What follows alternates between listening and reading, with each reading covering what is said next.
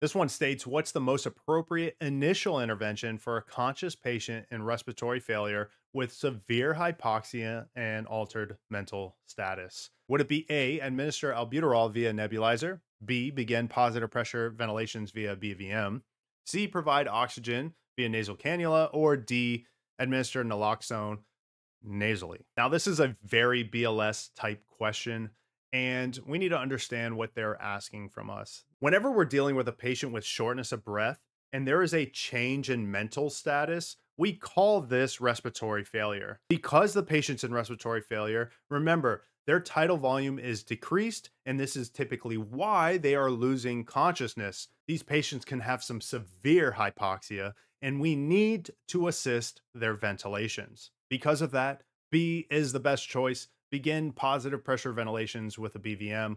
I know it doesn't say it's an adult or a child. Just remember for the adult, if we're assisting ventilations without an ET tube, it's one breath every five to six seconds or 10 to 12 breaths per minute.